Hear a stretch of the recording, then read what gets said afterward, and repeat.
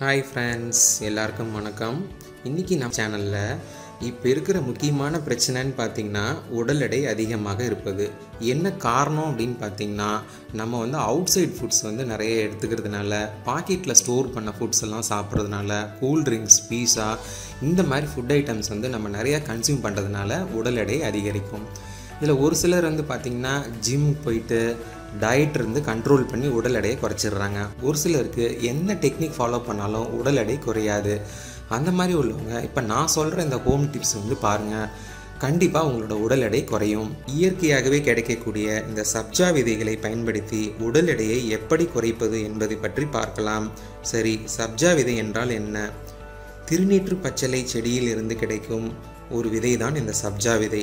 இது பார்ப்பதற்கு கருப்பு நிறத்தில் எள்ளு போன்று இருக்கும். இந்த சப்ஜா விதை பார்த்திங்கன்னா எல்லா நாட்டு மருந்து கடைகளிலும் கிடைக்கும்.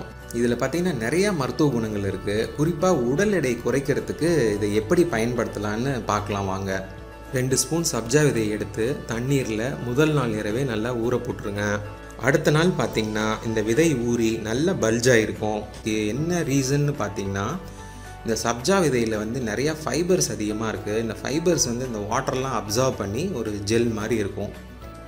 ஸோ இந்த நல்லா இந்த ஊர்ன இந்த சப்ஜா விதையை வந்து ஒரு ரெண்டு ஸ்பூன் எடுத்துக்கோங்க. ஒரு ஒரு டம்ளர் வாட்டரில் ஆட் பண்ணிவிட்டு நீங்கள் அதை அப்படியே மிக்ஸ் பண்ணி குடிச்சிடலாம் ஒரு சிலருக்கு வந்து இந்த மாதிரி குடிக்கிறது பிடிக்கல அப்படின்னா நீங்கள் ஒரு லெமன் ஜூஸ்லேயோ இல்லை மில்கில் இல்லை ஒரு சர்பத்து இல்லை ஒரு நன்னாரி சர்பத்துலேயோ வந்து நீங்கள் மிக்ஸ் பண்ணி குடிக்கலாம்.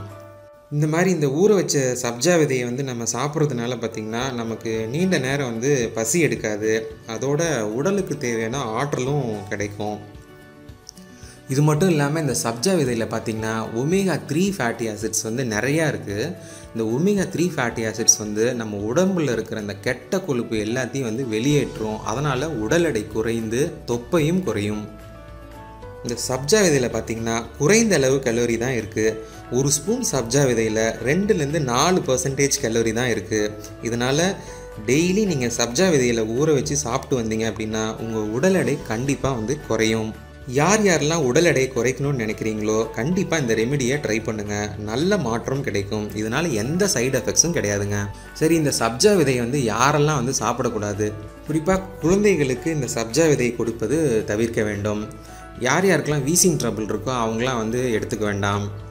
கர்ப்பிணி பெண்கள் வந்து இதை தவிர்ப்பது நல்லது. அறுவை சிகிச்சை பண்ணவங்களும் இதை தவிர்ப்பது நல்லது.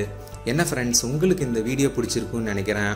இந்த வீடியோ உங்களுக்கு பிடிச்சிருந்துச்சின்னா மறக்காமல் சப்ஸ்கிரைப் பண்ணுங்கள் இந்த கமெண்ட் பண்ணுங்கள் உங்கள் ஃப்ரெண்ட்ஸ்க்கும் வந்து ஷேர் பண்ணுங்கள் தேங்க்யூ ஃப்ரெண்ட்ஸ்